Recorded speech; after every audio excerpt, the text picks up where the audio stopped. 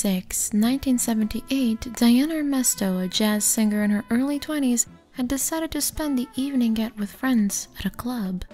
When she returned home in the early hours of the morning, she saw a strange light coming from the bedroom. As she stepped inside the front door, a loud gunshot fired from upstairs. She rushed upstairs and found her live-in boyfriend and his two sons lying unconscious. Justin, who was nine, had died instantly, but Jason was still breathing. Diane's partner was still holding the gun when she realized he had been the one to attack his children before taking his own life. His name was Frank Rosolino, and he was a jazz trumpeter.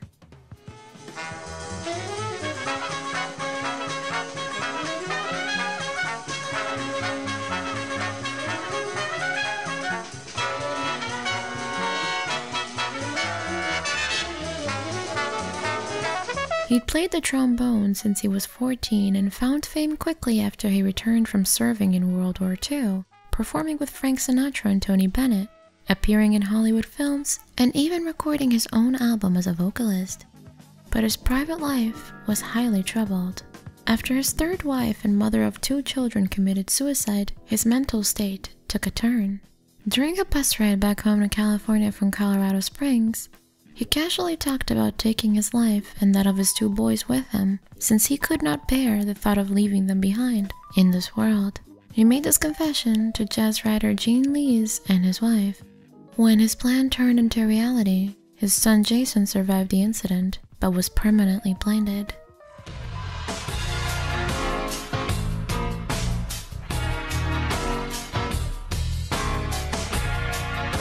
We don't know why we kill spur of the moment, desperation, intoxication, coldness, or something else entirely? Answering this impossible question has taken humans into harrowing trips inside the most haunting psyches in an attempt to understand. And few things bring humans closer to understanding emotions more than music. An art form that brings us together in a way that transcends everything else, becoming almost an unspoken, subliminal look into someone's mind. How they think, feel, and function. While many of the scariest communities centered around bizarre music are plagued by histories of violence, some of the most infamous figures in recent history produce seemingly harmless tunes. So, what do they have in common?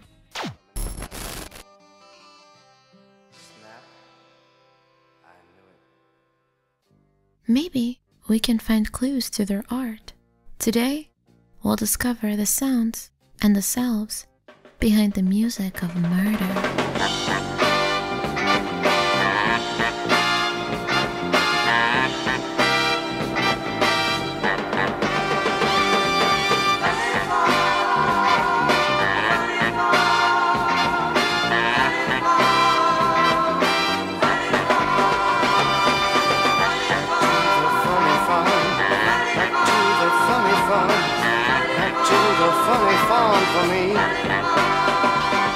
Mr. Rollins, tell me, baby, what were my words? All my tears run together.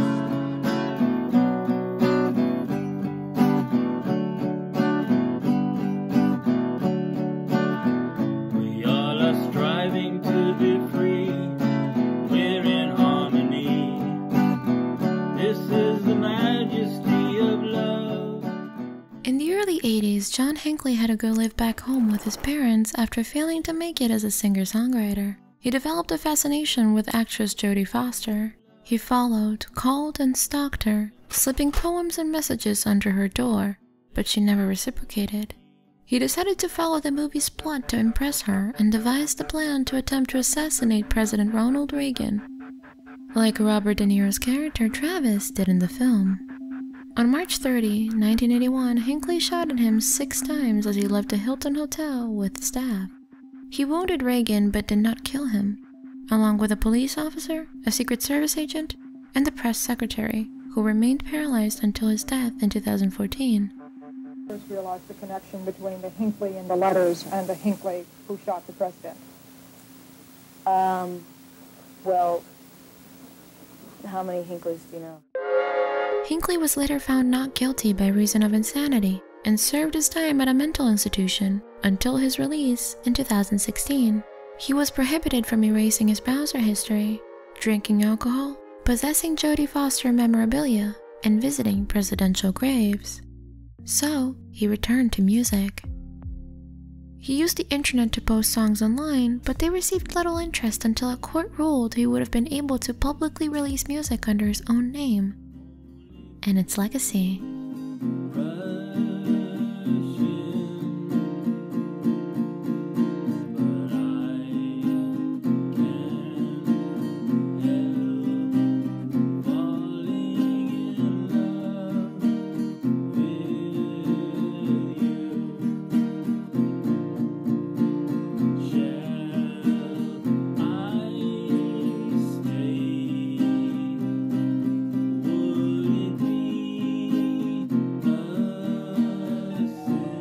Under the theory of rational choice, crime occurs when the benefits of the criminal activity outweigh perceived costs. Offenders are informed decision makers who actively assess and reassess information when determining whether or not to continue committing an offense. And perhaps one of the most notable is the crime of passion. I know it's wrong, but I pray and pray for him to die. Killing for love has been a far from uncommon phenomenon since the beginning of documented history.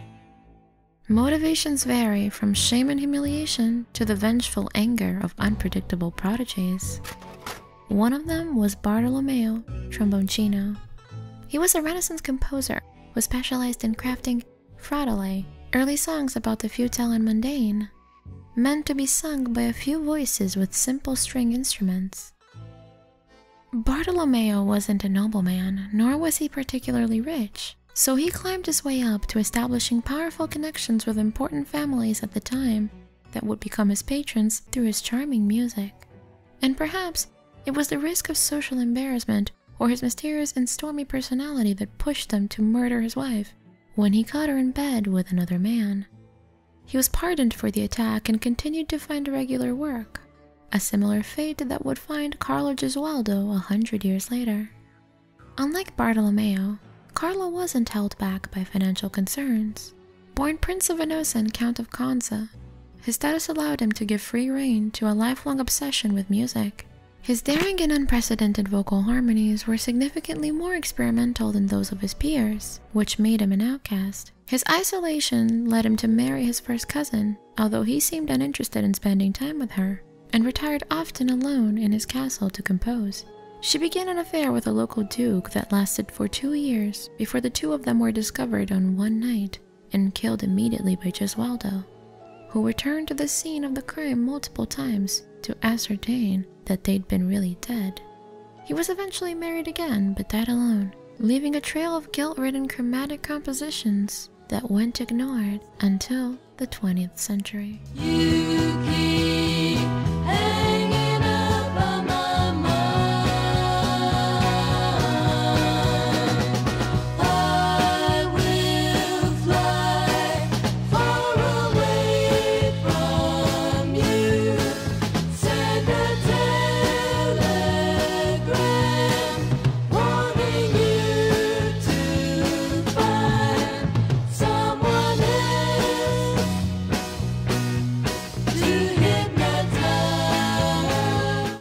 Tim Lambesis started his successful band As I Lay Dying with a friend in high school and remained one of its only constant members through a number of lineups.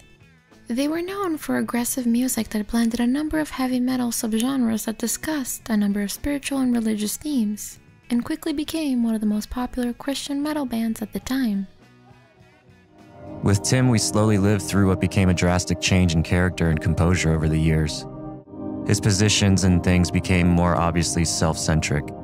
His inability to understand or assume any perspective other than his own created years of turmoil at first, but eventually grew to personal detachment within the group. But by 2013, Tim's faith was faltering. He began having an affair and approached a man at the gym, asking if he knew anyone who would kill his estranged wife in exchange for $20,000. The man he spoke to was an undercover agent posing as a hitman, leading to Tim's arrest. While he awaited his trial, he finally confessed online that he had lost faith in God and had utilized religion as a marketing gimmick for years. He eventually served a three year sentence for solicitation of murder and retracted his claim. And while Tim Lambesis' motives may have been nebulous, legendary producer Lawrence Horn didn't have a shield of edginess and piety to hide behind. Lawrence was an early Motown mainstay in audio engineering who was responsible for mixing classics like the Temptations single, My Girl. He'd met his second wife Millie during a first class flight, where she was working as a flight attendant. They married a year later in Las Vegas and were together for 15 years before Lawrence, who owed Millie $16,000 in child support, was served divorce papers. By then, he'd been unemployed and drowning in debt, and realized that if his wife were to perish, he'd be the sole beneficiary of their disabled son's trust fund. He hired a hitman to proceed with the killings, which culminated with the shooting of Millie, his quadriplegic son, and the family nurse.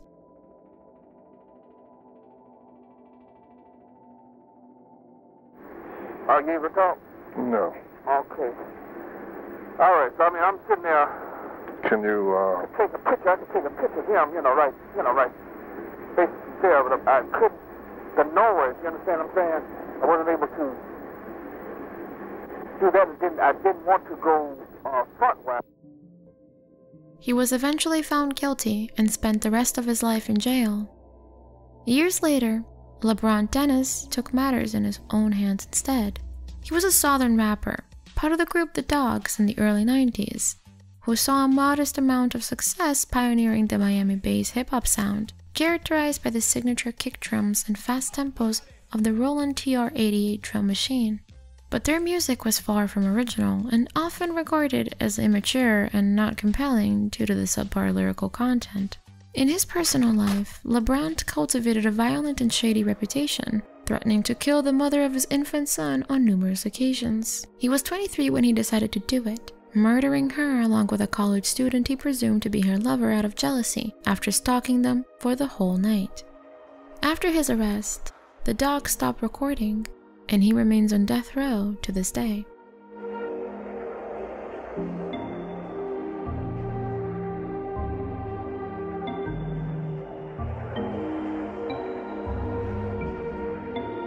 In criminology, the decision to commit crime is based on the individual's history of rewards and punishments, patterns of behaviors that have developed based on this history, and the perceived consequences of such behavior in a given situation. In a world where no consequences were faced due to easy pardons, the ability to leave hands bloodless through a hit represented the ideal solution for a number of men in past the time. But Labrant's premeditated evil stands out as the result of a crime that represents the escalation of disturbing behavior and jealousy that echoes that of alternative musician Bertrand Cantat. At the height of his band Noir Désir's success, Cantat was an icon of French music because of his subdued, deep voice that lent itself well for a number of crossover hits across the globe.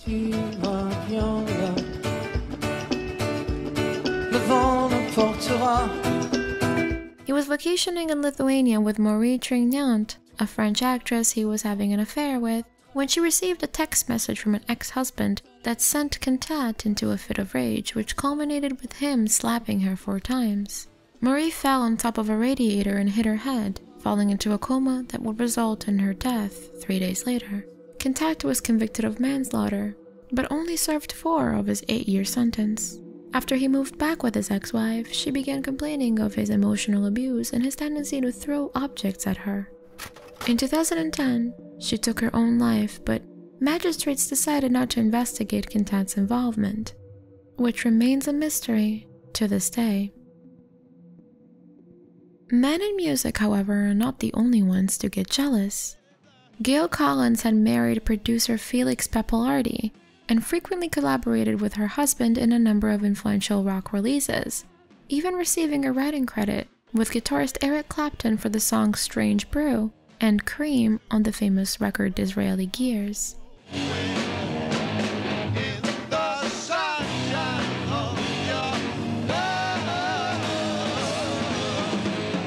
While her professional life flourished, her personal one fell apart when she decided to open her marriage with Felix, but quickly discovered she was unable to control her jealousy. One morning of 1983, after Felix returned home from seeing his girlfriend, he was shot in the neck and pronounced dead at the scene. Gail continued to claim her innocence, but ended up serving two years in prison for criminally negligent homicide. In 2013, after battling cancer for two years, she was found alone dead in her apartment in Morocco. But crimes of passion aren't always perpetuated by the wronged spouse. But much to gain if love decides to stay. Although it is difficult to envision anything even close to murder in relation to Claudine Longet's easy breezy French yeye and whispery childlike voice. She was a singer, dancer, and actress who had risen to fame during the 60s in France and was charged with the negligent homicide of her boyfriend, an Olympic skier, when she claimed she had accidentally fired the gun that he was attempting to show her. The evidence of the case pointed to her guilt, but was mishandled and obtained without warrants, rendering it inadmissible in court. Like her music, even the sentence Claudine received was surprisingly light as she was given a mere non consecutive 30 days in jail, which she could select herself, and charming even her lawyer, whom she ended up marrying shortly after the case. I think you're overly defensive about your position as a rock star and a record company. I'm not a rock star, first of all. I'm You are a musician. It is hard to determine whether it was musical fame and personal leverage that helped Bertrand, Gail, or Claudine to receive significantly lighter sentences despite their blatant circumstantial involvement. But what if the music wasn't on their side?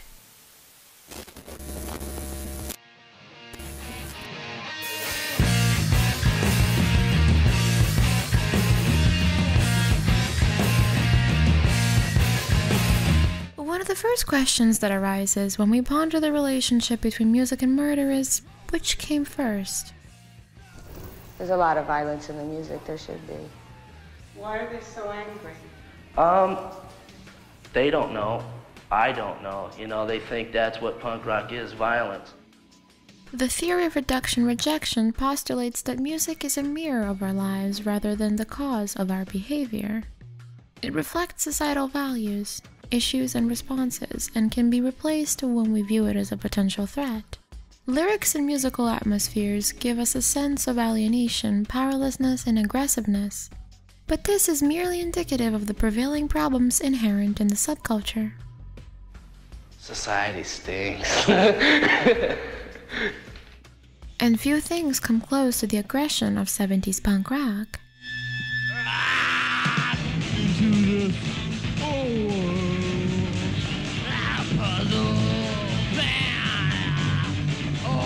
Simon John Ritchie became the face of the era as the bassist of the Sex Pistols, an English band who wore its edge on their sleeve.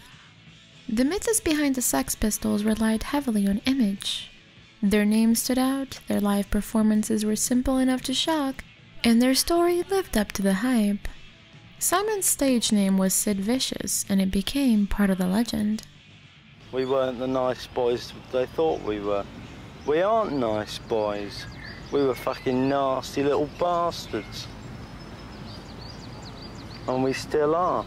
In 1978, he had been in the band for a year and had started a tumultuous relationship with an American groupie, Nancy Spungen. After the band broke up, Sid and Nancy checked into the Chelsea Hotel in New York City to consume dangerous quantities of opiates and barbiturates, drugs that were used by the couple to shut the world out.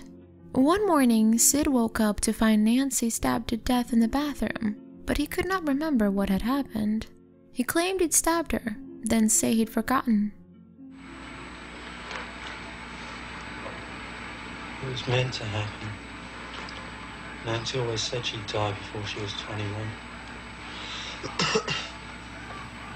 While the band's music glorified a life of abandon and chaos, Sid had trouble dealing with the real tragedy that followed it. reality. He slit his wrists with a smashed light bulb and tried to jump from the window of his hospital bed. Where would you like to be? Under the ground.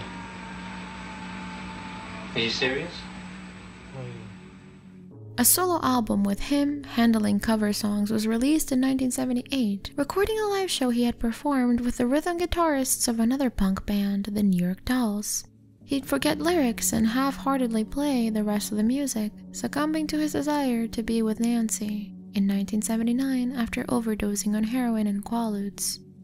The Sex Pistols only released one album, but made history, along with the Rock and Roll Hall of Fame in 2007 although they refused to attend the ceremony. Elsewhere in Europe, a Croatian boy was receiving his own punk rock communion. Ivica Kuljak had spent three months in mandatory correctional facilities by attempting to avoid military service by the time he was 17.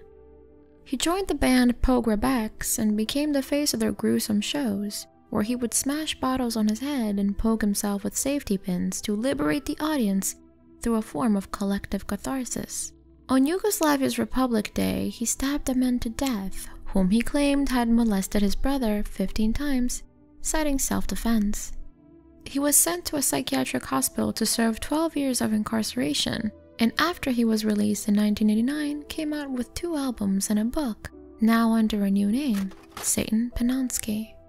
But his unconventional performances continued until he was forced to join the Croatian army during the War of Independence.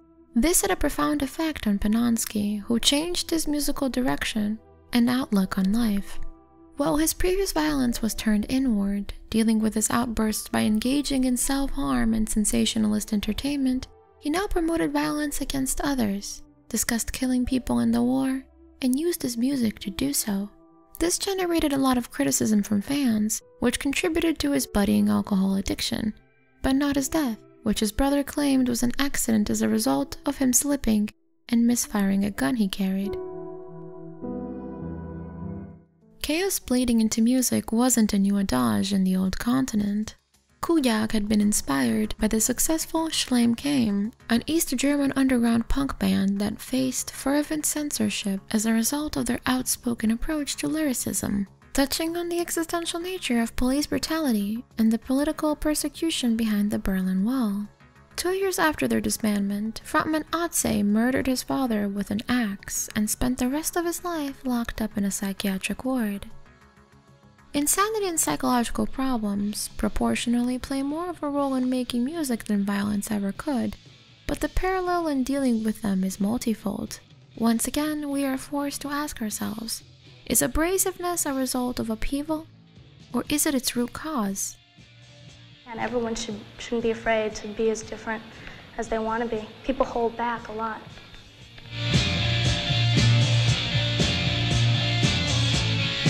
The political intent of punk music and chaotic nature of shows makes it hard to separate the performative from the genuine hatred.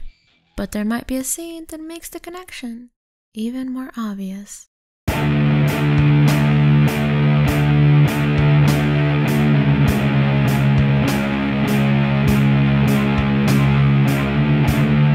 Appearing on the fringe of rock music, upon first glance, the ethos of punk and metal doesn't seem too different on the surface. Both scenes welcomed people at the edge of their generation and mimicked inner turmoil on a stage. Following the reflection rejection theory, both serve as a form of drive reduction, where music becomes a vehicle for expression to reduce emotional and physical outbursts. Like electricity, the sound form is a conduit for the expression of difficult feelings through a purgative effect. Jeffrey Arnett is a psychology professor at Clark University in Massachusetts whose work focused on the sociological implications of emerging adulthood. According to his research, belonging to a music subculture is an intense avocation that shapes the view of the world, spending habits, moods, friendships, notion of who and what is admirable, and hopes for what we might become. Teenagers in the 70s and 80s reacted to reality by attempting to subvert it, through the nihilist intentional irony and cynicism of punk music, a response to the pointlessness of life with a lo fi, unpolished aesthetic that recreated the grittiness of reality, focused on an aimless message that searched for music, good enough to go along with it. What do you consider yourself to be, John? Um, well, I wouldn't call myself anything. Um, I wouldn't put myself in any category at all. I'm just quite a normal person, really. But by the early 90s, something had changed. On the other side of the spectrum, a new subculture was emerging, which embraced the complexity of ambitious rock music with its flair for the glossy and theatrical, and this time, they were dead serious. Heavy metal and its most extreme subgenres like black metal and death metal had a sincere outlook on their dark mythology, creating an original cultural experience that people gravitated to in order to escape reality through exaggeration. I, I tell him, you know, I just can't believe in a God, in God, because he's that evil. And he'll, he'll respond, you know, evil, what do you mean by that, you know? But if he is so all-powerful and almighty, why can't he come down to earth and show himself, show himself to people so that they can see that he's for real and that he's the guy to believe in. Instead, he sits up in his heaven, you know, It generated its own dark dimension where fans could continue bemoaning their everyday circumstances but find solace in the underground atmosphere that isolated the darkest, most deviant elements of the world. According to Arnett, in the early 90s, the average metal fan owned around 75 records, attended at least 8 concerts a year, and spent around $38 a month on music, which is around $77 in 2021. And no scene remains as iconic as the one of Norwegian black metal, with Varg Vikernes becoming one of its most infamous protagonists. Vikernes began playing guitar at age 14 and started a solo project as Burzum. He had brief stints in other bands in the scene like Old Funeral and Mayhem, which led to a violent confrontation with guitarist Euronymous, whom he killed after being told he was the one planning to attack him in the first place. He was sentenced to 21 years in prison for the murder and the burning of several churches in Norway. During his imprisonment, Vikernes recorded and released two Burzum albums before being released in 2009 on probation and moving to France.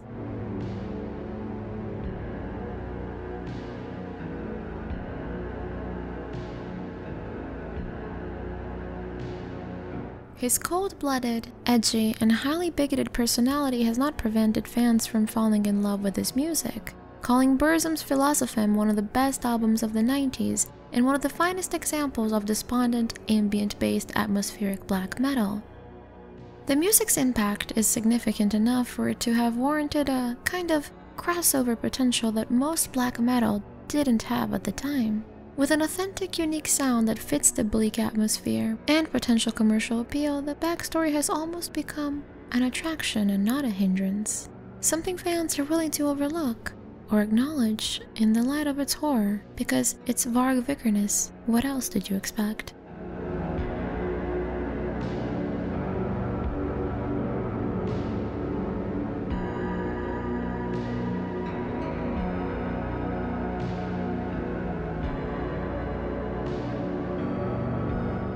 In Germany, the young band members of black metal band Absurd were becoming a popular national socialist and right wing extremist voice with lyrics that denounced nationalistic, pagan, and anti Judeo Christian themes. But they were just 17. In 1993, frontman Sebastian Schauseil had begun a relationship with a married woman, and his classmate, Sandra Beyer, was spreading the rumor about the affair and the band's other illicit inklings. Sebastian Schauseil claimed that he had heard a voice that was urging him to kill Sandra Beyer. So, along with drummer Hendrik Mobus and bassist Andrew Kirchner, they invited Beyer over to discuss the matter, where they strangled him with an electrical cord. After realizing the gravity of the act, Kirchner exclaimed, Oh shit, now I have completely ruined my life. After the murder, Absurd became a cult band within right wing extremist groups, and they were able to continue recording music before being released on parole in 1998. None of the original convicts are in Absurd today, but Hendrik Mobus runs a record label and has been in and out of prison as a result of stirring controversy through his anti Semitism. And in two instances, several conservative credos led other metal musicians to seek murder. Bard Eithun was arrested after Euronymous' murder because he had admitted to stabbing a gay man who had solicited him for sex. He was known by his stage name Faust and had been a member of at least a dozen Norwegian black metal bands. including Dissection and Emperor. He felt no remorse because he had been very fascinated by serial killers for a long time and he wanted to know what it was like to kill a person. He also denied it being a hate crime, a Satanist sacrifice, or a black metal killing, blaming it on pure impulse. But his fellow bandmate, John Nödtveidt, had a different story. He was a member of the criminal organization Misanthropic Luciferian Order and had on several occasions discussed performing human sacrifices. In 1997, he confessed to murdering Joseph Ben Meddour, an Algerian gay man. His motives were never discussed and remained unclear, but seemed to have been linked to the order and his personal opposition to homosexuality. He restarted his band Dissection after his release in 2004, but was found dead in his apartment inside a circle of lit candles, holding a satanic grimoire authored by an MLO member who had also co-written several lyrics with Nödtveidt. Regarding his views on suicide, Nödtveidt said, The Satanist dies strong, not by age, disease, or depression. And he chooses death. Death is the orgasm of life before dishonor so live accordingly as intense as possible. Back in 1993, Jeffrey Arnett had surveyed young male metal fans. They said that listening to metal music contributed to their antisocial behavior, vandalism, and assault. But could this be because people with certain values and cognitions are simply looking for music that mirrors existing negative beliefs and behaviors and not the other way around? Treating the root cause of the emotional discomfort could be more conducive than turning off the radio.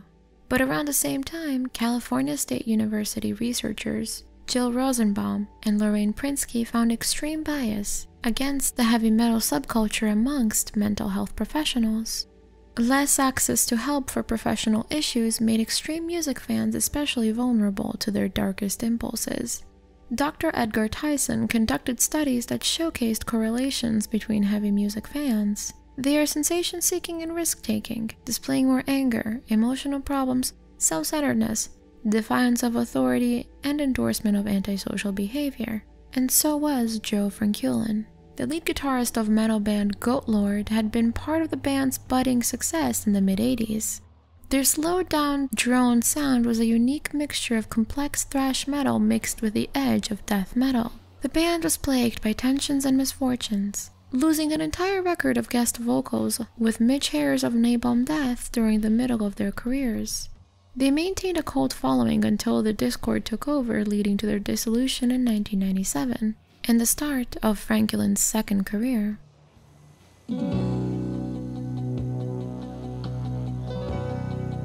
In the new millennium, Joe Frankulin became the lead administrator of the shock website bloodshows.com, which claimed to contain the world's biggest collection of shocking and extreme videos, while also doing yard work to support himself financially. Oh, going on blood shows.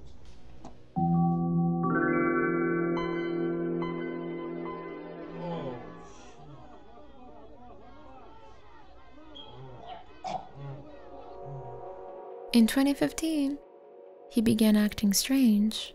He sold all of his possessions and barricaded his home, covering the windows with boards and street signs. People had been called to check on him using a bullhorn to get him to come out. But on October 2nd, there would have been no answer. He had shot his neighbor, a single mother named Jennifer Bagley Donoso, and kidnapped her son, whom he'd shot when the police arrived, shortly before turning the gun on himself, after they had been called by her surviving daughter.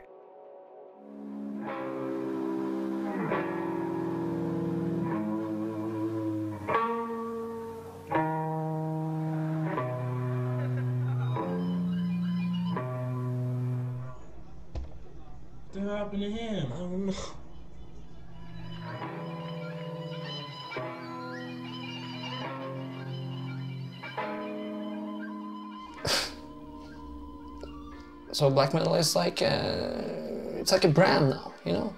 Everyone can deal with it. If someone does it in a completely, you know, disgusting way, I might just go like, damn it. But, you know, what can I do?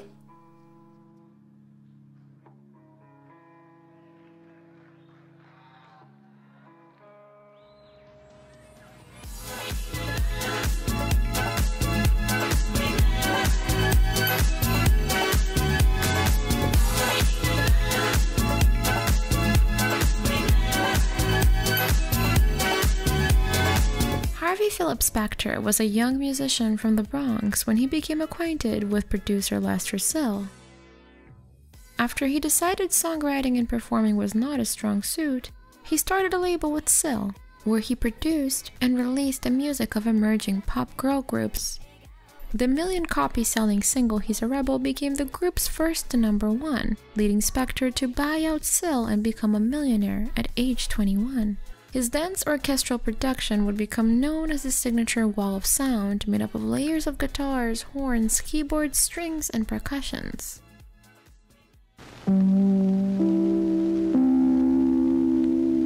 By the end of the 20th century, Phil Spector had become a monumentally influential producer who had worked with the Ronettes, the Beatles, Cher, and the Righteous Brothers, amongst others. But his personal life was a different story. Well, egomaniac can answer that. Uh, I think it's, you know, it stands up, you know, far superior to many of the things that are coming out today. I'm He had married Ronnie Bennett of the Ronettes, who later went on to comment on his eccentric and insane abusive behavior. By the time he entered the Rock and Roll Hall of Fame, Spector was a gloomy figure who had effectively been retired from the music business for nearly a decade. In 2003, while at work in Spector's Los Angeles mansion, his driver noticed him coming out of the back door in his house holding a gun, exclaiming, I think I've killed somebody. The person in question was Lana Clarkson, an actress who had been working as a hostess at the House of Blues. Spector had claimed her death was an accidental suicide. He said he was just showing her his gun when it went off. He remained free until the jury found him guilty at his second trial in 2009 and was incarcerated until his death in 2021. Many men with a spotless musical repertoire leave behind a worrying track of records when they grow drunk with power. While David Koresh isn't exactly best remembered for his contributions to the music industry, those were the connections that he used to recruit a good amount of his Branch Davidian followers. Psalms 45 guitar, a lot of people think it's kind of sensual. The Branch Davidians were a Christian sect that believed that they were living in the final period of biblical prophecies, right before Judgment Day. Vernon Howell had joined the group by seducing 16 year old matriarch Lois Roden and declaring himself the true prophet of the group. He had been kicked out of his mother's Seventh day Adventist church in Houston for attempting to marry the pastor's daughter in similar fashion. His utter failure as an aspiring musician in Los Angeles is what led him to return to Waco, Texas,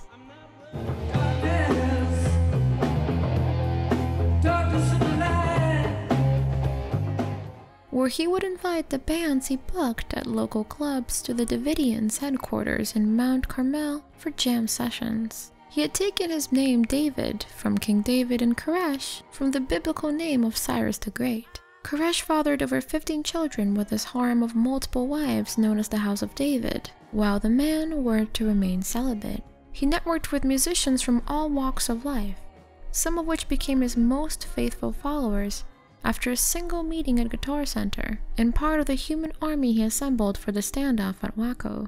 The siege that would end Koresh's life and that of 75 others began as an FBI raid and erupted in one of the most violent shootouts in American history. Shortly after the end of the standoff, a three song EP recorded by Koresh called Voice of Fire featured him on posthumous guitar and vocals, singing vaguely religious rock ballads and the notable track Madman in Waco, which is surprisingly about his nemesis and not Koresh himself. Closed off communities make the ideal breeding grounds in the development of subcultures that overwhelm the music industry. This is because a unique subculture exists amongst members of each social class or group. They share values that require interests and involvements. But when isolated and potentially disadvantaged subcultures focal concerns conflict with the values of conventional society, crime is much more likely to occur. Although David Koresh was by no means the first musician cult leader of recent history.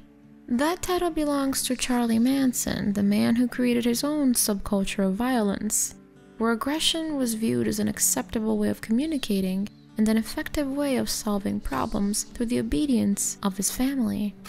Growing up between foster homes and spending a good amount of time in prison in his youth, Charlie Manson was a struggling musician seeking to make it big in Hollywood between 1967 and 1969. The first stop on his list of places to visit was the Beach Boy Dennis Wilson's house, whom he'd met at a party where he'd gone to procure weed. Although Dennis's recollection was slightly more unconventional.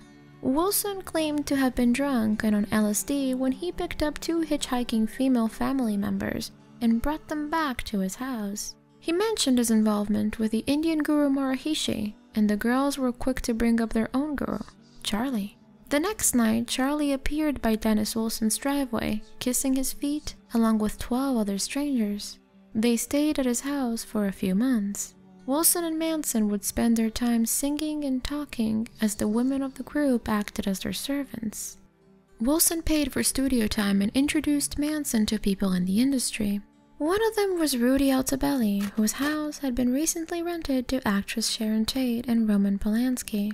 The extended stay ended up costing Wilson more than $100,000, including treatments for STDs and wrecking uninsured cars, until Wilson moved out of his home and the landlord evicted the family. One of the only songs to reach the public out of this period was the track Cease to Exist, which was eventually released by the Beach Boys as Never Know Not to Love in 1968. I'm your kind, I'm your kind, and I see.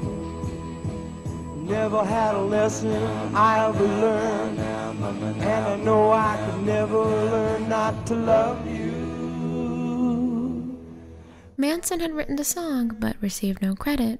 He was so disappointed in the lyrical and musical changes made by the Beach Boys that he traded his compensation for cash and a motorcycle. After he planned and orchestrated the murders of Sharon Tate and her friends and the LaBianca family, he met producer Phil Kaufman while in prison. Kaufman was released and moved in with Manson's family to release Charlie's music in turn. Most record companies declined to be involved, so Kaufman had to raise $3,000, the modern equivalent of $23,000, to press the record himself. I heard him singing in the prison yard. He sounded kind of like a young Frankie Laine. So when I got, I stayed with Charlie and, and the family for a while, and he said, "You can't stay here. You're too smart." It consisted of recordings made from 67 to 69 and was distributed by the same people responsible for Bob Dylan's collection of pirated tapes but did not see the same success, selling only about 300 copies. Amongst its 13 tracks was the psych folk ballad Look at Your Game Girl. Throughout his life, Charles Manson would see a lot of his material released, from bootlegged recordings made with the family's backing vocals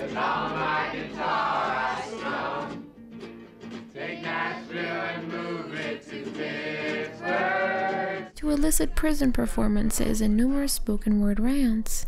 There is nothing particularly disturbing about his music, however. Look at Your Game Girl without any context could have been a hit that simply never saw the light of day. Ah, those feelings real. Look at your game, girl. But to Manson, musicianship was a coping mechanism he used to satisfy his need for attention, praise, and love, which turned into a conniving addiction to power that led him down the path of insane manipulation of other talented people involved with him. One of them was Bobby Beausoleil. Bobby Beausoleil had been part of a rock band called the Grassroots Arthur Lee's Band, which later changed its name to Love.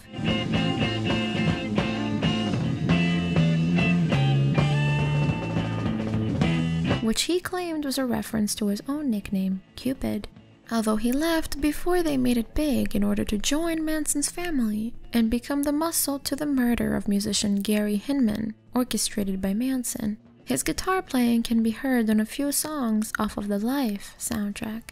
His musical talents were far different than his leader's lyrical folk, and he was more inclined to produce experimental symphonic and progressive soundscapes. Prison allowed his art to flourish. His most notable release was the soundtrack of the indie underground film Lucifer Rising, a prog rock symphony describing a fallen angel's mythical journey, which he recorded with an improvised band while behind bars. Before incarceration, Beausoleil had been offered the title role of Lucifer. He went on to release six other albums and create visual drawings and paintings to go alongside his music's mythology. Prison allowed him to shelter himself fully in his art without having to support himself financially. and became a place of paradoxical liberation through confinement that he never found in the outside world.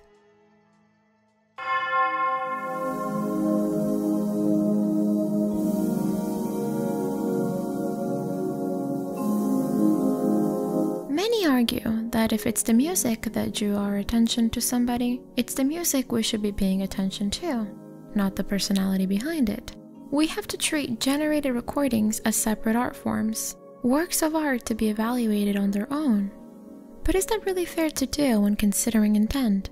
One of the biggest reasons why listeners gravitate to artists is to search for role models and to feel less alone. Music attracts vulnerable listeners who might be looking to fill a void and cope with feelings of failure, providing clear guidance for identity, pure acceptance, and empowerment. Doesn't it make more sense to embrace the shadows behind the music? Maybe the line has to be drawn somewhere. Maybe that place begins with Big Lurch.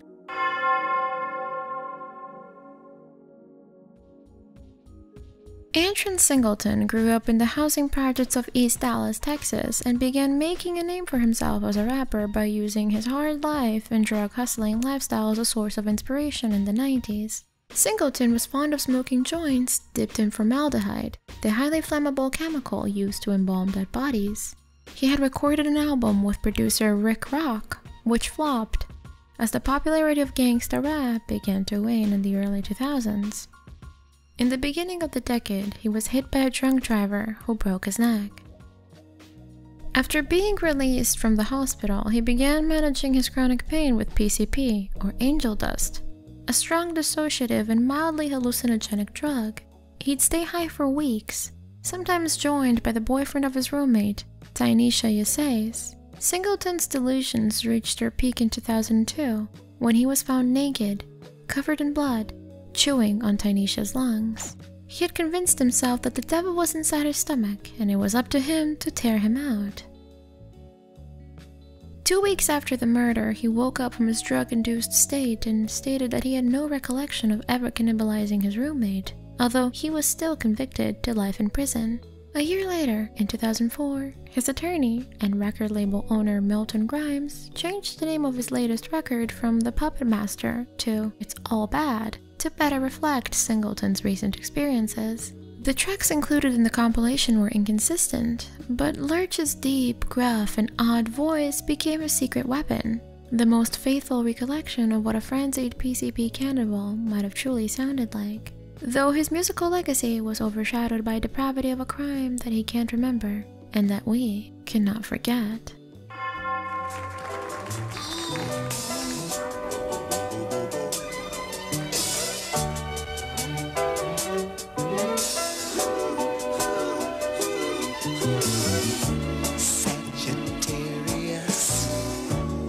Jeannie Reynolds was the sister of soul group vocalist L.J. Reynolds from The Dramatics. She had a few successful singles in the 70s and eventually recorded a debut album, Cherries, Bananas, and Other Fine Things.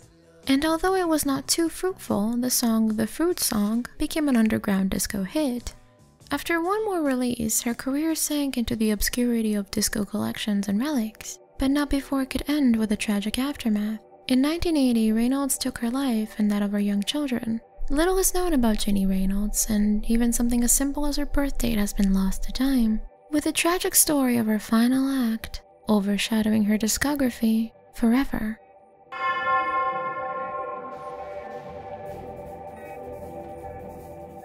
And on the other side of the spectrum, there are musicians whose careers completely overshadow their killings. One of them was The Who's iconic Keith Moon. He was known for his unique drumming style and endless kit, and self-destructive eccentric behavior, which included smashing instruments and blowing up hotel room toilets.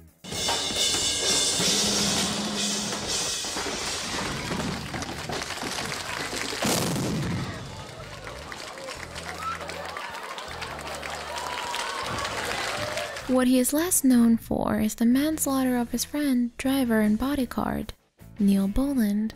One night at a pub, intoxicated patrons began to pile up against his car as he darted for an exit. Moon was also impaired by alcohol, so while inside his car accelerated at full steam ahead, accidentally hitting Boland in the process. He was exonerated, but the incident haunted him throughout the rest of his life. His ex girlfriend, Pamela Des Barres, later recalled that he had nightmares about the incident and felt no right to even be alive. His tom toms and cymbal crashes weren't enough to overshadow the stubbornly generic rock and roll he attempted in his only solo release, which came out five years after the accident. It was recorded in the tail end of 1974 during Moon's Lost Weekend, where he joined Ringo Starr and John Lennon in a three day bender. His torturous life continued until 1978 when he succumbed to an overdose.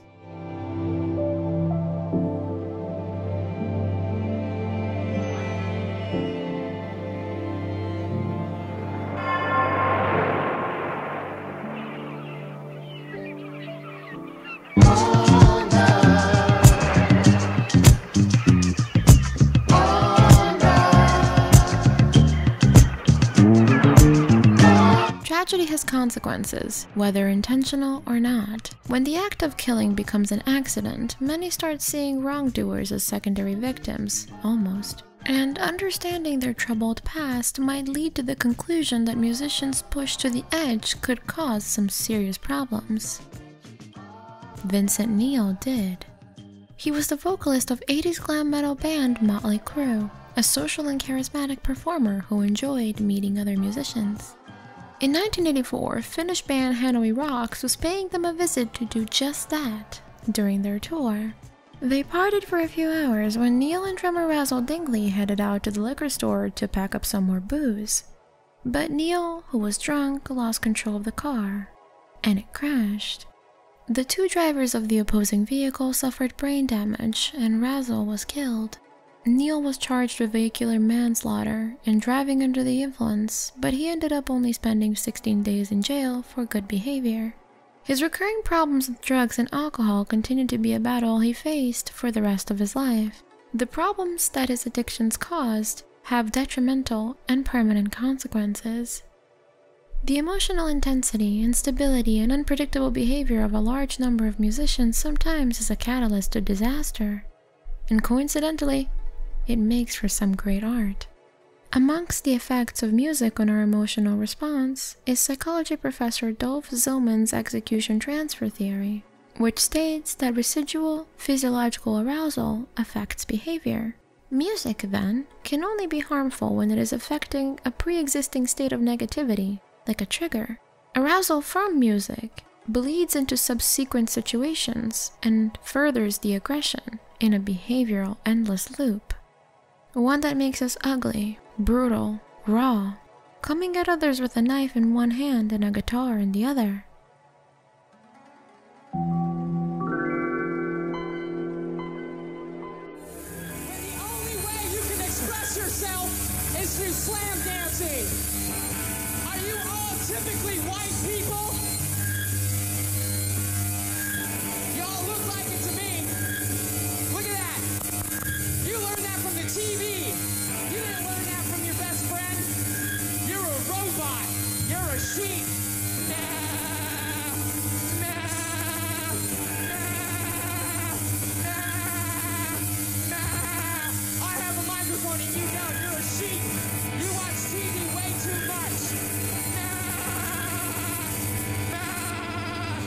And so were the words used to describe the music of blues maker Robert Lee Burnside. Burnside played music for his entire life but wasn't discovered until the 1990s. When he joined punk blues musician Jon Spencer and told a disconcerting tale. He accidentally had killed someone during a dice game for which he had gone to prison for six months before being released by his employer because he needed to drive the tractor on his farm.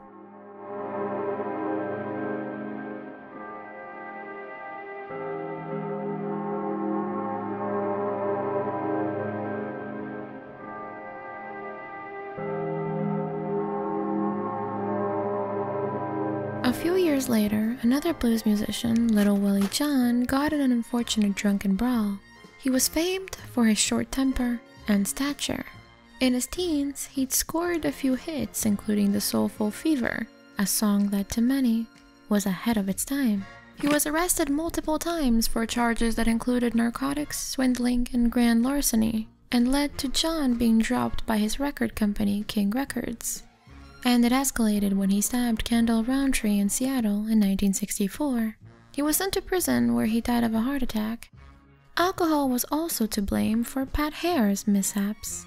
Hare was a rather unassuming man, known for his influential distorted electric guitar songs. A timbre that was perfectly captured in his prophetic track, I'm Going to Murder My Baby, doubly morbid because he did just that.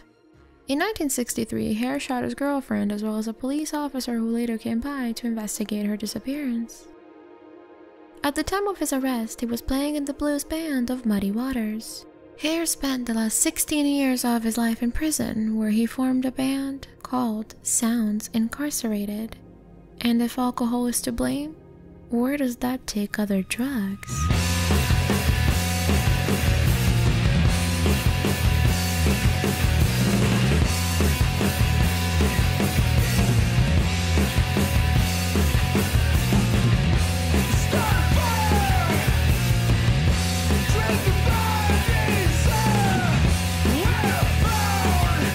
Is intoxication enough to justify insanity and its consequences? Sam McBride begs to differ. He had volunteered to join the punk rock band Fang, reconstructing its lineup in the mid 80s. But he also had a side hustle selling LSD on the streets, and had been suspecting his girlfriend, Dixie, had been conspiring with a rival dealer to steal away his business. In a drug addled rage, he crushed her neck with his bare hands. He managed to stay on the run for six months before he was captured by police and sentenced with a manslaughter charge. It's been said that beauty is in the eye of the beholder, and nowhere is that more true than in my studio today. Let's meet these artists now, and we'll also meet those who feel their work is nothing but smut. Aggressive music lyrics can increase aggressive thoughts and feelings, perpetuating aggressive behavior is the conclusion reached by a study conducted at Iowa State University and led by Dr. Craig Anderson. It influences listeners' perceptions of society and contributes to the development of aggressive personalities, even if they were humorous in nature. What are you going to be when you grow up? A cook? I don't know. Something, I don't know. A gas station guy? And though these studies might be problematic because they compare radically different songs and judge based on lyrical content alone, a more vulnerable mind reacts in different ways when being told what to do. Joe Meek's I Hear a New World seemed to indicate where his mind was.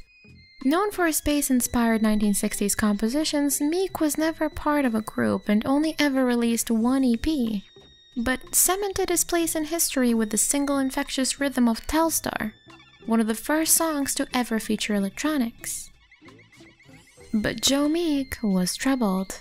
He suffered from bipolar disorder and schizophrenia, quickly becoming paranoid about record companies spying on him to steal his music, which was exacerbated by habitual abuse of a number of drugs, including amphetamines and barbiturates, which caused unpredictable, wild mood swings and fits of rage. Meek's depression deepened as his financial position became increasingly desperate. He was fascinated with Buddy Holly, whom he thought had attempted to communicate with him in his dreams from beyond the grave, and that his landlady, Violet Shenton, was eavesdropping on him. He shot her on the 8th anniversary of Buddy Holly's death, after they'd argued about the noise levels coming from upstairs. He then turned the gun on himself and took his own life, and set foot to the stars. Mental health handicap comes with a double edged sword for many talented musicians. An ability to look at things from a different perspective becomes a worrisome hindrance on the quality of life.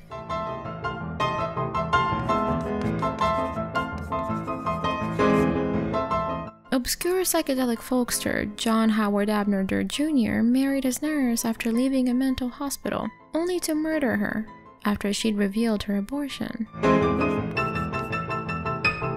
60s ska Skatalite, Don Drummond was a world class trombonist who fatally stabbed his wife, dancer Anita Mahfood. because she gave him the wrong medication and he missed a New Year's Eve performance.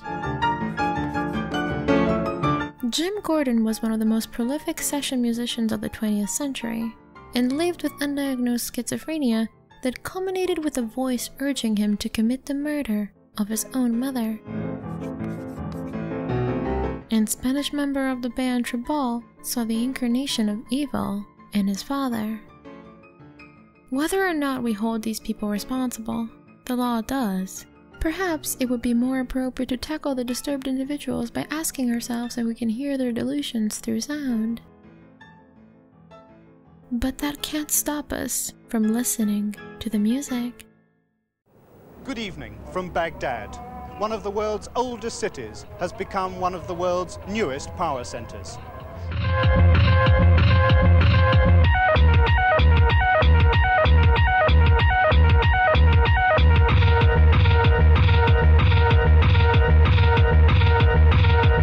The Iranian band The Yellow Dogs fled Iran to live and perform music free of fear and play inoffensive indie rock in New York City.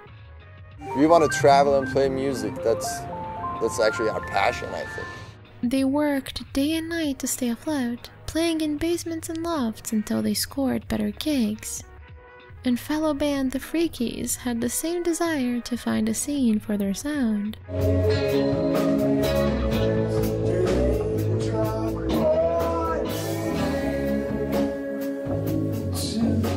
But this was a fantasy. The two bands' shared manager, Ali Salehezadeh, made it clear that they needed a lot more work and discipline to get there. Bassist Ali Akbar Mohammadi Rafi strained his relationship with both bands who fired him.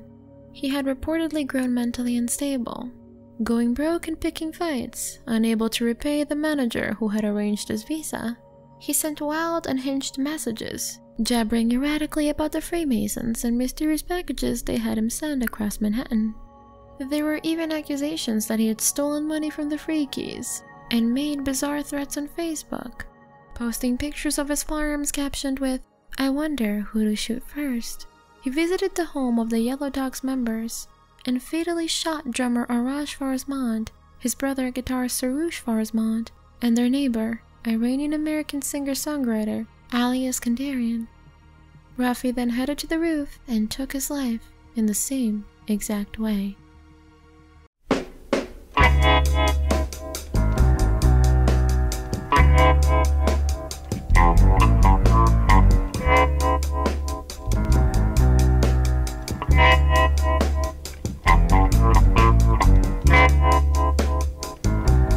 Is lawful code the only reason we become morally repulsed by killer musicians?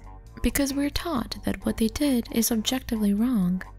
The process of learning criminal behavior is a result of conditioning.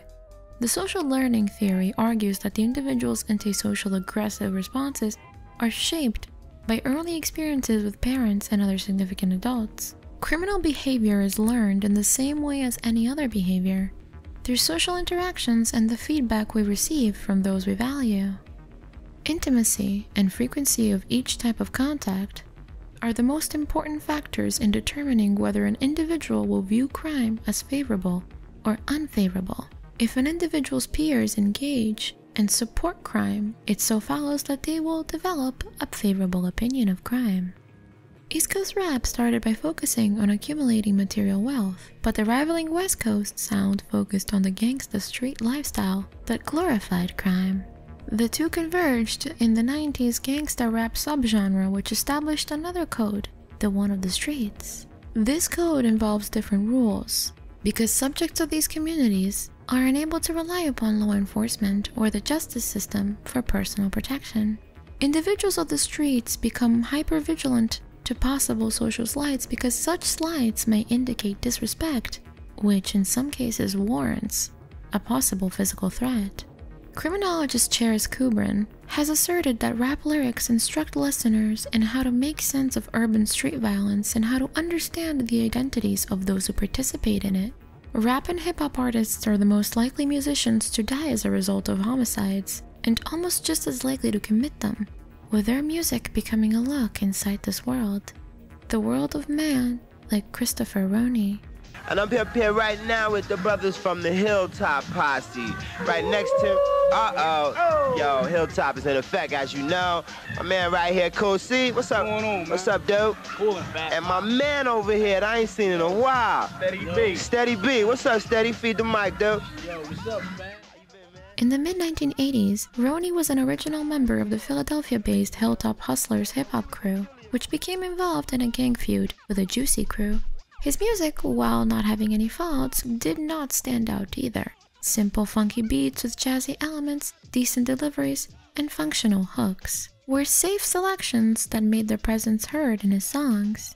After a couple of solo albums and a new record deal, he put his solo career aside to join hardcore hip hop group CEB. But the project was short lived and the members faced legal troubles and had trouble committing to their promotional release events. Ronnie, who was known as Cool C, and his associate, Steady B, were eventually dropped during their tour. In order to make money after this loss, the two of them were joined by a third accomplice and decided to rob a bank. They held three bank employees at gunpoint and demanded access to the bank vault, triggering a silent alarm that led to police officer Lauretha Vaird showing up to the scene. Vaird was a single mother of two boys and a nine year old veteran with the 25th District who had worked as a teacher's aide. Ronnie shot her immediately as she entered the bank. He left a murder weapon at the site and fled the scene on a stolen van. Vaird did not survive her injuries, after she'd been taken to the hospital. Ronnie was found guilty of first degree murder, robbery, conspiracy, aggravated assault, burglary, and possession of a weapon. He maintained his innocence throughout the trial, despite testimonies, ballistic forensic evidence, and security footage proving otherwise.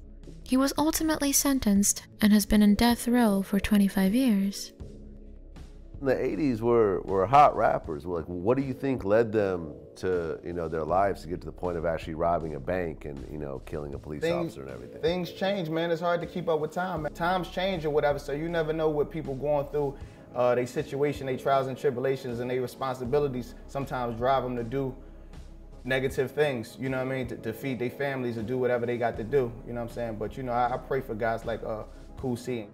Although Vaird's memory still remains, and she inspired the song Slipped Away, the ballad of Lauretha Vaird, which appeared in the Philadelphia trio G Love and Special Sauce's album. Yeah, it's that easy.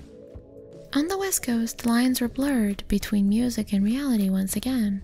San Francisco rapper Mac Minister lived in an infamous neighborhood, the Mo, and had already experienced two police raids by 1999, one in which his pitbull was shot and killed by police officers. By the mid 2000s, Andre Dow, Mac's real name, had been on the run for the murder of Anthony Fat Tone Watkins. A presumed retaliation for the previous killing of Bay Area hip hop icon Mac Dre. After a 10 month manhunt, Dow was convicted of first degree murder and conspiracy to commit murder and sentenced to life in prison. The case was featured prominently on America's Most Wanted, which also led to the capture of another rapper on the run years before. Chi-Ali Griffith made his first appearance on Black Sheep's debut album, A Wolf in Sheep's Clothing. In 1992, at the age of 15, he released his first solo single, Age Ain't Nothing But a Number, which saw short lived success. But along with stardom, Chi-Ali fell off the radar after he discovered the reality of the streets. He seemingly disappeared from the hip hop industry until the late 1990s, when he appeared in Dre's solo album, Sure Shot Redemption. But on January 14, 2000, the shot Chi-Ali took was more literal. After an argument with his girlfriend's brother about $300, he fatally shot him in Harlem and then fled New York. He hid in various cities in the East Coast, surviving on the streets by selling drugs which ultimately was what the police caught up to him for and convicted him of the crime after a six month manhunt. There's something about New Yorkers and the term suck my dick. He said, suck my dick. I'm not giving you nothing. You can suck my dick. And I was like, keep that energy when I get up there. He was beefing on the phone. Like we, like by at some point it got crazy. And then with him telling me to suck his dick and all that, like I was like, I was going up there to pop him. Um, There are many group contexts that involve relatively routine activities, and it is everyday people that set the stage for violence. Most assaults, made by musicians or not, are the product of affective aggression when two or more people are having some sort of conflict. And the pride fueled, testosterone clouded masculinity often emphasized in hip hop has all the more potential to escalate mere harmless provocations into violence, be them influenced by prison culture or the image one wishes to portray. Gang pride and affiliation was a justified reason in the 90s to risk freedom and avenge a brother. Marion Hugh Knight Jr. brought about an avalanche of speculation after spending two decades in and out of prison as a result of multiple assaults and parole violations. Knight was the co founder of the popular hip hop label Death Row Records and Black Captical Records. Any artist out there want to be an artist and want to stay a star, and don't want to, don't want to have to worry about the executive producer trying to be all in the video, all on the record, dancing. Come to Death Row. After numerous brawls, bankruptcy, a restraining order issued by Dr. Dre, and an attempt to sue Kanye West, Knight was not welcome in the 2015 set of the film Straight Outta Compton, a biopic about the origins of the West Coast hip hop scene of the early 90s, but he still tried to come. I'm not taking a picture.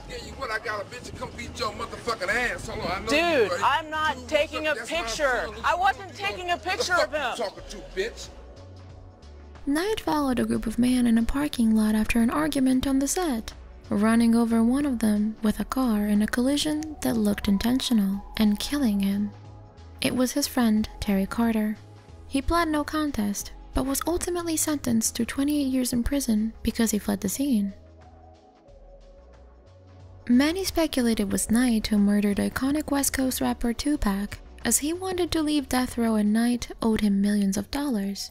Like to tell Tupac to keep his guards up. We ride with him.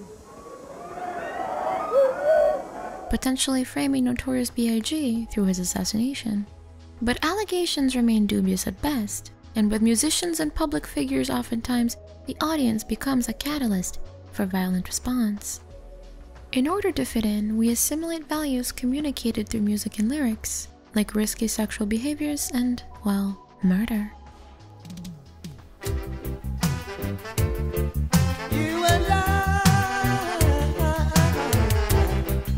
Oh.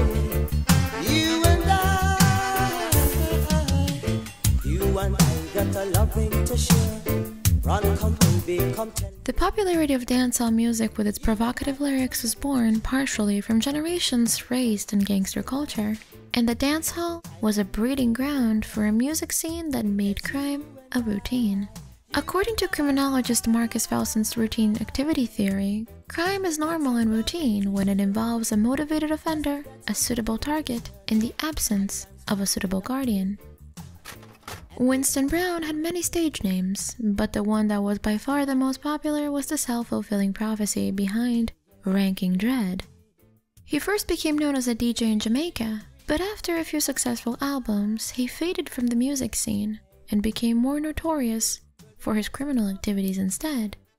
By the late 1970s, he had moved to London after becoming involved with gang leader Claude Massop. The best male vocalist for 1982 is Winston Reedy. Winston Reedy!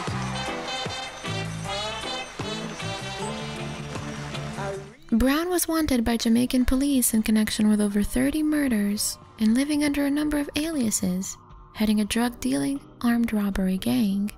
After being arrested and deported, he attempted to enter the United States with a fake passport years later, but was arrested again for attacking his girlfriend and slashing her face. Before finally becoming extradited back to Jamaica, where he spent the rest of his life in prison, best remembered for recording albums in between escape attempts and the LP Lots of Loving. But Ranking Dreads wasn't an isolated incident. Dancehall artists are idolized because the profit generated by their music is an economic staple for poor neighborhoods in Jamaica. Desmond Valentine, aka Ninja Man, had launched a career at the age of 14 to escape the poverty cycle.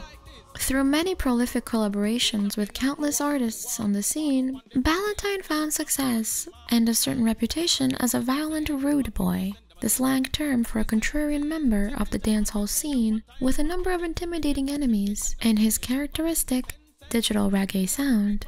In 1993, criticism arose for his violent and pro-gun lyrics, leading to a decline in gigs and record sales. To counter this, he turned to gospel reggae and reinvented himself, seeking to fight his crack cocaine addiction through Christianity. But it didn't last too long. In March 2009, Ninja Man and his son were arrested and charged in connection with the murder of Ricardo Johnson after an argument over mowing the lawn and sent to life in prison. Everything in life is an experience and nothing affect me. If you're rich this morning and poor tomorrow evening, that's an experience. You know what it is to rich and to poor back again. And so was Vybz Kartel. Anyway, me come, me always have to introduce somebody. Vybz Kartel, come on, come on. Adidja Palmer had become a protege of dancehall DJ Bounty Killer and wrote almost 30 songs for him. His career was tainted by fake feuds, akin to the ones in wrestling and American culture. But his pre planned on-stage clashes would quickly turn violent. One of them was with Ninja Man himself. The genre is marketed as dangerous because that makes for controversy, and controversy sells. Success was quick for Palmer, who founded a record label, a condom company, a brand of rum, a shoe line, brightening soap, and became the owner of a nightclub. He even had his own reality dating show reminiscent of the flavor of love, Teacher's Pet, where women would live in a house and compete for his affections. But when he was busted for weed possession in 2011, the police made the connection to the murder of Jamaican businessman Barrington Burton. Though he was granted bail for this murder and later found not guilty, he remained in prison in connection with a second murder, that of Clive Lizard Williams, who had been murdered by Palmer's gang, the Gaza Empire, after he lost a gun that he was supposed to safekeep. Palmer was also charged with obstruction to justice after staging a robbery and then sentenced to life in prison. He continues releasing music from behind bars, with a single even reaching gold status in June of 2020. The twisted nature of our world leads criminals to become just as famous as they are infamous. And for a music career, this isn't half bad a predicament.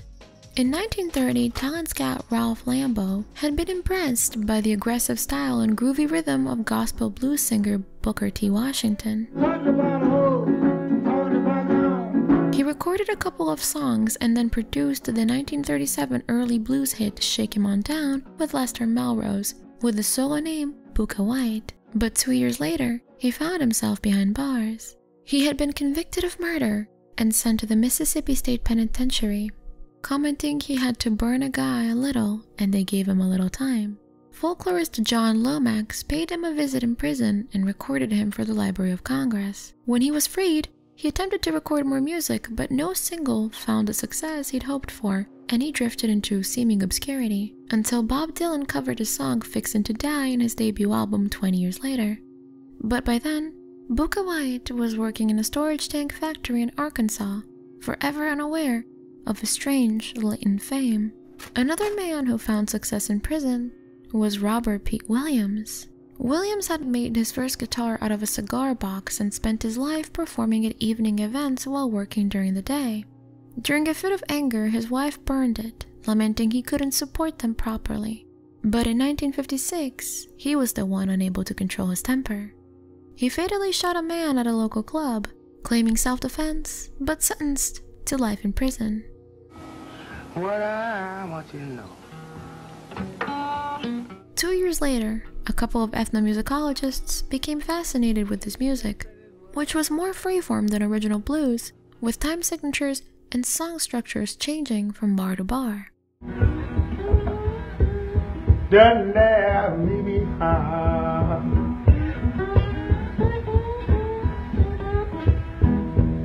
Williams was eventually pardoned three years after the murder, and while his unconventional tuning and eclectic style kept him away from superstardom, it cemented a questionable place in music history. He went on to play numerous concerts, record albums, and tours until his death in 1980. But not everyone is as lucky. Lead Belly, the moniker of Huddie William Ledbetter, was one of the earliest blues musicians known and remembered. His voice roared with personality, and the 12 string guitar that accompanied it infused his sound with a complex folk influence.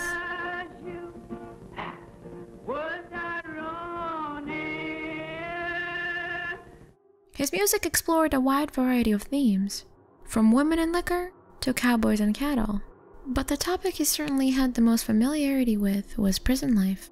He had escaped his first imprisonment in 1915, but was back in jail after killing one of his relatives after a fight over a woman.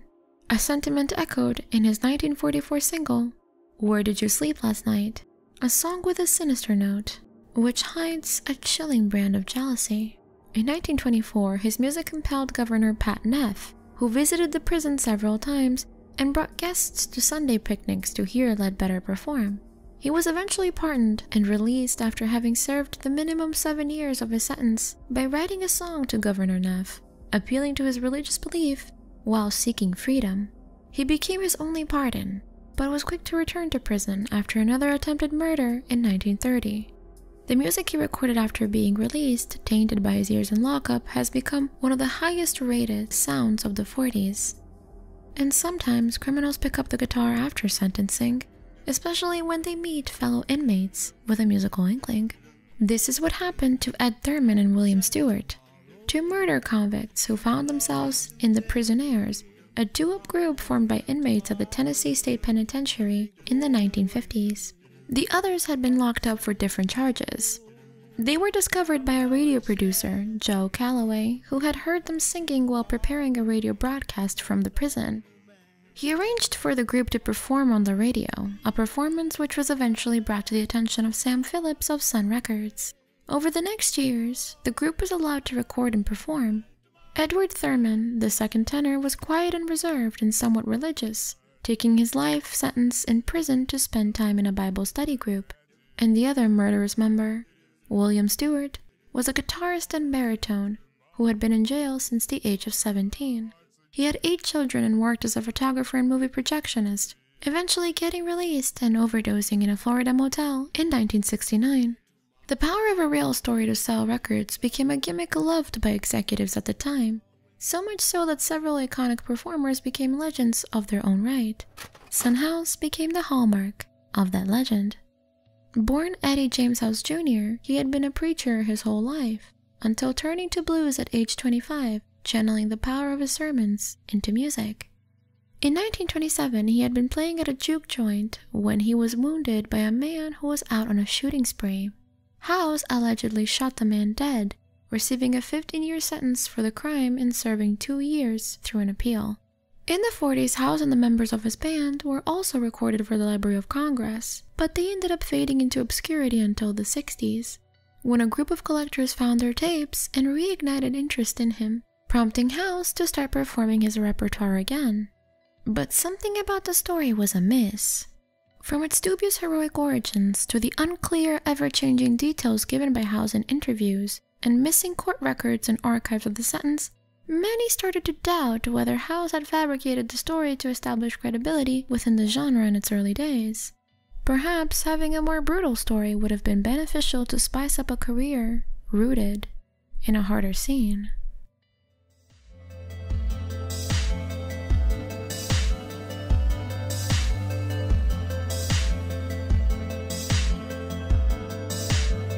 Anomie is a peculiar sentiment, a term that is rarely used to describe a feeling that is all too common a lack of social and ethical standards, be them in a community or individualistic mindset. An anomie is born out of strain, experienced by people who want to achieve goals that they do not possess legitimate means to. Because new ways of doing things become preferable to the established lawful techniques if they prove to be more cost efficient. And this is the conflict that births crime and rising incarceration rates of musicians whose livelihoods depend on illegal activity and selling records. But can they do this behind bars?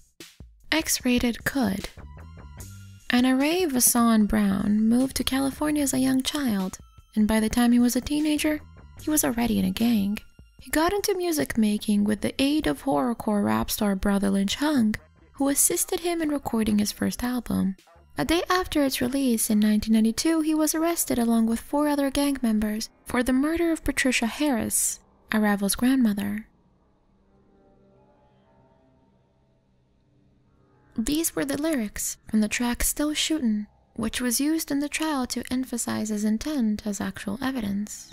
The .38 caliber pistol Brown holds in the sleeve of the record is also speculated to be the one he used in the attack. The 31 year sentence didn't stop him from recording an album in 1995, Exorcist, with a unique lo fi atmosphere by virtue of being recorded over the prison telephone. It even has a collect call sample from Brown identifying him as an inmate. A few years later, he had better luck with the help of a guard who smuggled in equipment for his 1999 follow up, The Unforgiven Volume 1, which included a contraband DAT machine with a surprisingly high quality threshold. His cellmate, Dot Dog, also made an appearance.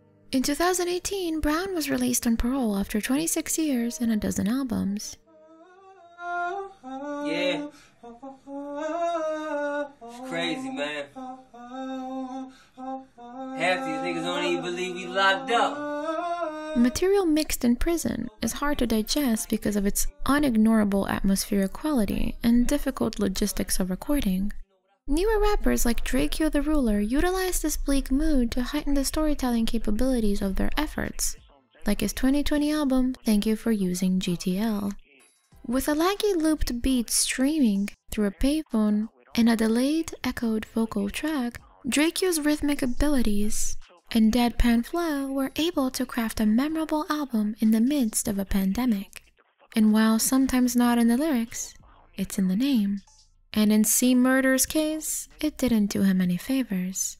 Corey Miller had had a long, fruitful career before being convicted of the murder of a 16 year old fan, whom he had beat up and shot in front of a nightclub for standing too close to him. During house arrest, Miller also pleaded no contest to another attempted second degree murder of a bouncer that denied him entrance to a Baton Rouge nightclub. While the validity of the subsequent trials was questioned, Miller was sentenced to life in prison for the murders. But his incarcerated career was especially memorable. His 2005 album, The Truest Shit I've Ever Said, was made entirely in jail. And while the production is mediocre and seemingly uneven, C Murder's sincere delivery makes it a compelling listen and a reflection on the impact of incarceration to musical output. Verses were recorded on a handheld recorder handed to him by his lawyer during visitation hours.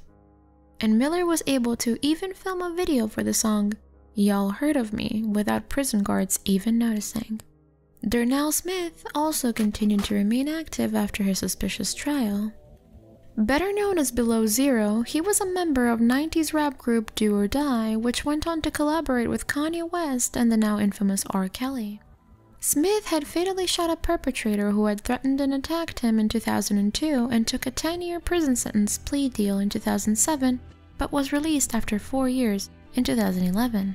He continued recording during the time and patiently awaited his release to return to making music with Do or Die, who have resumed touring as of 2015.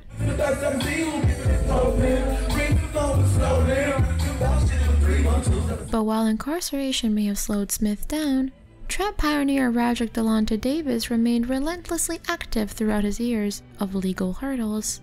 Since 2001, better known as Gucci Mane, Davis has been going in and out of jail for a plethora of charges.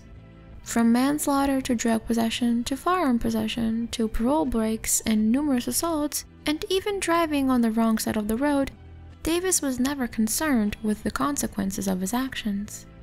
In 2013, Davis attacked a fan who was trying to take a photo with him, and one who attempted to shake his hand, which brought him back to prison after he violated parole once more and began acting erratically.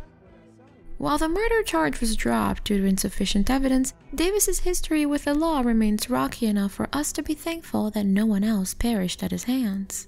It also coincided with his darker, more artistic release of Trap House 3, an album which was only digitally available. This release saw a shift in his actions, whereby he eagerly took responsibility for them for the first time.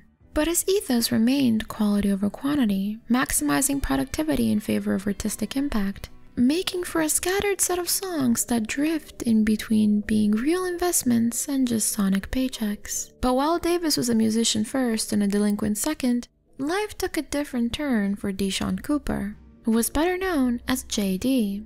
He was a former member of the Lench Mob, a hip hop group which featured NWA alum Ice Cube. Before being sentenced for 25 years for the murder of Scott Pearl Charles after he allegedly revealed Cooper's infidelities to his girlfriend at the time. This for the uh the trigger tramps that always start trouble. You know what I'm saying? Everywhere y'all go, for the females ain't got no self-respect. You know I'm gonna kick this one for them. How I go like this? I don't like trinkets and I don't like love letters. Cause for me, the dumber the better. I like big butts. I like big hips, bitches with the big thighs. And of course, I love them big lips. Charles's friends would attend his concerts in the Los Angeles area to report back to the girlfriend if he cheated. And while Cooper maintained he had not pulled the trigger, he took responsibility for the night's events. But instead of attempting to continue releasing from prison, he took a different course. He worked as a clerk on the computer lab for vocational training, attended self help groups, Bible school, anger management, and wrote urban novels, which he pursued upon his release in 2016. Cooper was only in the group before they released anything, so his musicianship has now become a past long gone. It is stories like Cooper's that give positive evidence for environmental prevention, the idea that reconstructing or rearranging aspects of an individual's day to day aids in crime prevention and rehabilitation. The list of incarcerated rappers is overwhelming, for a number of reasons that warrant standalone deep dives. The state of the carceral state, the difficulty of assimilation and productivity within the prison industrial complex, and the not so subtle targeting of hip hop artists of the US criminal justice system only scrape the surface of potential reasons. More than most musical genres, rap plays an ongoing game of reality versus fiction, blurring the lines in composition where it becomes hard to speculate if some events are merely tales of a worn out imagination, or if there is a bottom of hard to digest truth. Situational prevention could exist as a tool which alters situations to make crime targets less rewarding while increasing risks, effort, and guilt as a means to reduce temptation to commit crime.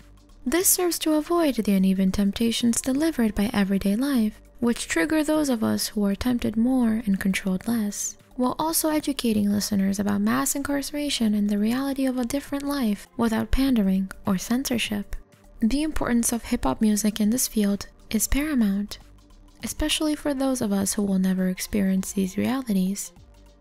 But we must return, at this point, to our original question Is it nature, aggressive music that breeds a difficult lifestyle, or nurture, complex indoctrination that leads one to find the music. YNW Melly may help us shed some answers. Jamel Maurice Demons rose to prominence with his hit Murder on My Mind. And perhaps this is really what he had on his mind when he murdered two of his friends from the YNW collective. Demons' mother was 14 when she became pregnant and gave birth to him. She struggled to pay for housing and necessities, so he joined the Bloods gang to support himself while going to school and posting music on SoundCloud. This marked the beginning of a turbulent period in Demons' life. He was arrested for drug possession, battery, and parole violation. You're facing two counts of um, premeditated murder, and the court does find probable cause. I further make a preliminary finding of proof evident presumption great you will be held no bond. Um, Authorities speculate that Demons conspired with fellow YNW rapper Cortlen Henry to stage the double murder and make it appear as if they were fatally attacked at a drive by shooting. In 2019, he announced he would turn himself in on Instagram and was currently also suspected for another assassination of a sheriff's deputy in 2017.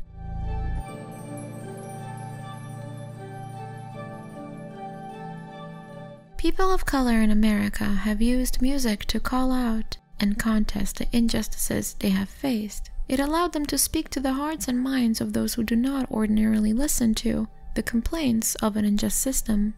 But it is cases like Melly's that make us question the current state of the industry that glorifies them.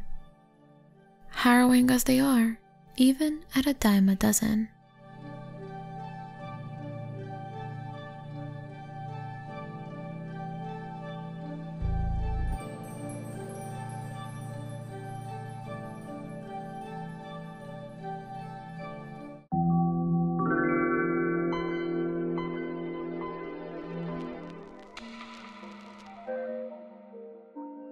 In sociology and anthropology, music is a territorial marker. A combination of cultural, psychological, and physical dimensions that use sound and music to symbolically reinforce boundaries and signal who belongs and who doesn't. And sometimes, music can signify a terrifying arrival, like the one of Melvin Rees.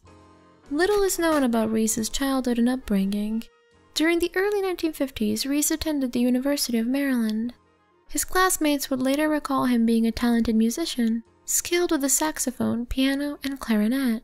Rees dropped out to pursue a musical career and went on to play at local jazz clubs in the Washington, D.C. area. After attempting to assault a woman, he moved to Arkansas and began working in a piano shop with a topless dancer whom he'd married. In 1957, he stopped a couple on the road shooting a woman by the name of Margaret Harold, while her boyfriend was able to escape and alert the police. They didn't find Rees, but discovered his shed in the woods, decorated with a tapestry of violent explicit images of females and autopsy photos taped over the walls. Two years later, Rees took his murderous habits even further by attacking the Jackson family, kidnapping and killing husband Carroll, wife Mildred, and infant daughters Janet and Susan, who had also been otherwise violated. Leads to Rees's car and an anonymous letter led police to find him working at a music store, where he was arrested and sentenced to life in prison. He perished in 1995. At the time, he was also a suspect of four other homicides in the area, but was never formally charged for those incidents. For Reese, music was what he did, but murder is who he was. Although for other individuals, the lines blur further. One of them was Richard Eldon Samuel McCroskey III, though you might know him as Syko Sam. He had been a graphic designer and amateur rapper in Castro Valley, California. McCroskey was a loner who had been bullied in high school because of his appearance. Despite his meekness, however, McCroskey found a way to channel his inner angst through the underground horrorcore scene, a graphic subgenre of rap that focused on mimicking gory acts of violence and describing them in absurdist, gratuitous detail. He began posting his own amateur music on MySpace, rapping about mutilation and the thrill of murder, and eventually dropped out of school. And the internet was also the place where he met Emma Niederbrock, another young horrorcore fan. The two began e-dating and spoke daily on the phone, but he quickly became possessive and wished to be exclusive with her. They planned on meeting at a music festival in Michigan in 2009, her parents were happy to oblige on the condition that they be present at the meetup and decided to bring along Emma's friend, Melanie. But once the four of them met McCroskey, their days were numbered, as he was quick to bludgeon them in their sleep, finally enacting his fantasies to watch the last breaths leave the bodies of his victims. He is currently serving life in prison for the crime and has not released music ever since.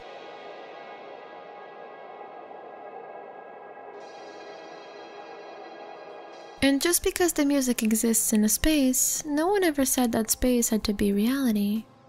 Sometimes, music is part of an aesthetic and style that solidifies and shapes the identity of a subcultural group. And Randy Stair's group was all in his head. Come on. Have a seat. The signs of Randy's fascination with the darker things in life came through early. At school, in written assignments, his characters would almost always end up being involved in some deadly incident that would kill them. His fascination with death and the afterlife became an obsession, which he documented on a YouTube channel where he worshipped Eric Harris and Dylan Klebold and pondered methods to take his own life. In 2014, he discovered Danny Phantom and rebranded into what would become the infamous Ember's Ghost Squad. It was a fully functional animated collective based on the character of Ember McLain, a guitarist who appeared in one episode of the Nickelodeon cartoon. He adopted the alias of Andrew Blaze and began creating shorts about the characters in the series as they met their fatal destinies. One of them was also a very explicit reenactment of a fatal attack in a school, crudely drawn and animated by Stair. He also scored all of his releases, publishing companion soundtracks on Bandcamp.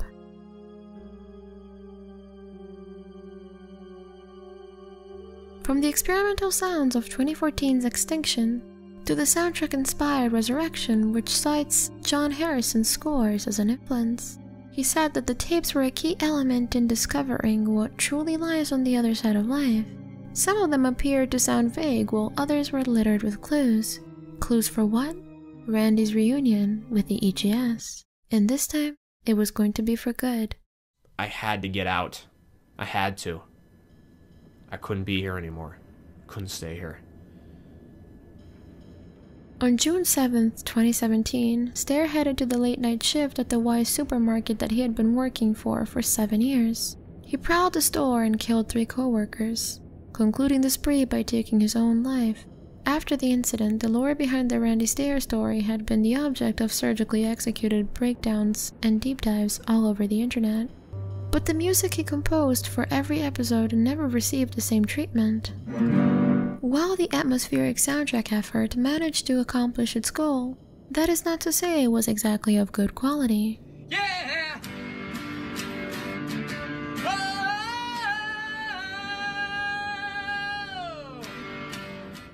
The fact that the tracks he ended up producing for a series based on a character that made cheerful pop punk was very different from its source material indicated a degree of artistic sensibility.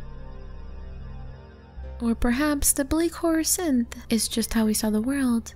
But many hobby musicians don't have the luxury of dedicating time to honing their craft. And it is the scattered artistic drive, the emotions and unresolved psychoses that bled in the everyday reality that led Daniel Harold Rolling into murdering eight people. Um, my lawyers advised me not to make any, uh, you know, answer any questions, but I have about a three-minute uh, statement prepared. Would you like to listen to that? Sure, sure. Along with his mother, he had been abused by his father, a retired police officer at a young age, and saw himself as a career criminal, of which his victims were his biggest prize.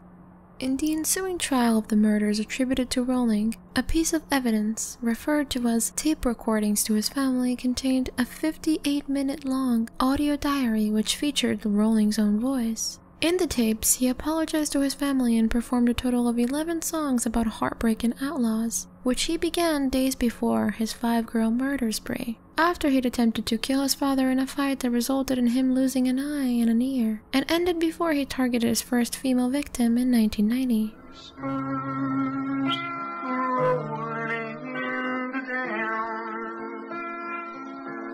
The tape was played in full during the trial as evidence of premeditation and then became available for sale online. One of the songs, Broken Hearts, directly addressed Rolling's father, lamenting that he had just been pushed away and that all he wanted was to make him proud. I'm trying. To Rolling, all this is irrelevant. He sticks to his story of evil spirits guiding his hands. A serial killer called Gemini, who he claims lurks inside Danny Rolling. Serial killer. Music was also how Rolling met his longtime girlfriend, country singer Bunny Mills, who testified that Rolling had refused therapy to treat his emotional issues as a result of the fear he felt for his father and how he would react. Rolling also addressed the court in his final statements through a song. I recall the day I first saw you. I reached out to say I love you, but it was hard to say. I couldn't touch you. So tell me, baby, what were my words? All my tears run together. Excuse me, Mr. Ron. Down the Mr. path Ron. you Mr. Ron. to He was sentenced to death via lethal injection, which was administered to him in 2006. He sang during his final statement For Rolling, murder was what he did, but music was who he was. baby, just like rain.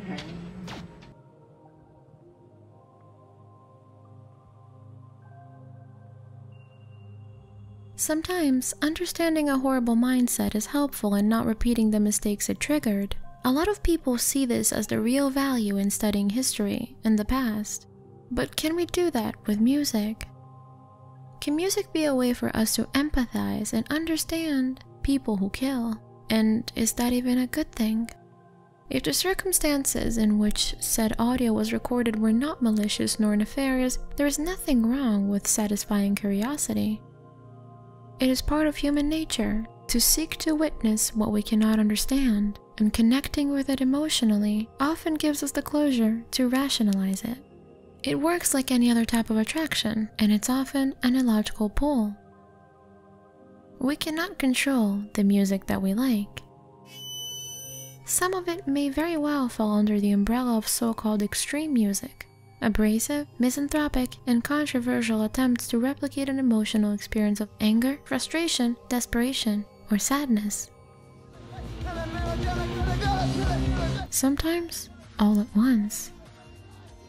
And sometimes the edge of the conceptual is pushed a little further, with entire albums dedicated to simulating murder experiences and other acts of violence. But the sounds can be jarring and disturbing enough to alienate most listeners.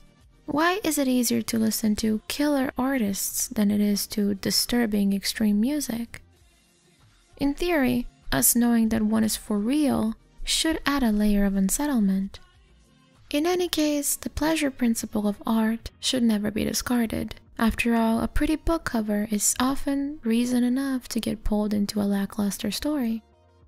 And the bad story might be hidden behind a very bad looking manuscript. It all depends where one wants to look. Ultimately, past research attempting to establish a link between music and actual crime is correlational instead of it being causational.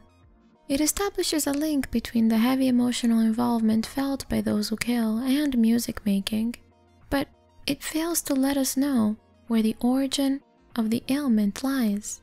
For all we know, the most repulsive individual could make the most incredible piece of art, and the most destructive, corrosive audio bits ever recorded could be made by the most wholesome people on planet Earth. Music does not a killer make, but delivers an enchanting look at their psyche, perhaps hinting at themes and threads, helping us find clues into their world. This is the majesty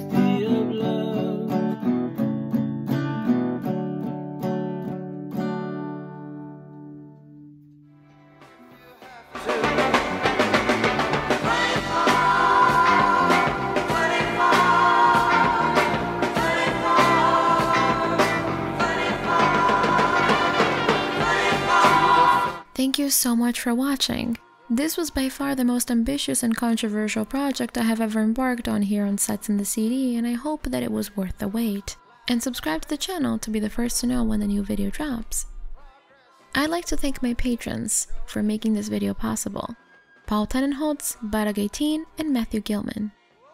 Follow us on Twitter to keep up behind the scenes and see developments on latest videos and more content, and Spotify to listen to the playlist inspired by today's video. And this one is a doozy. Now go watch a video about puppies or something, please. I'll see you soon for more stories behind the music. And the ways of life seem to carry us out to sea for the last time. Can you hold on to what we once had, carried us to this point, or do we toss it away with an impression of disconcern when with each utterance of hate our souls cry out for peace?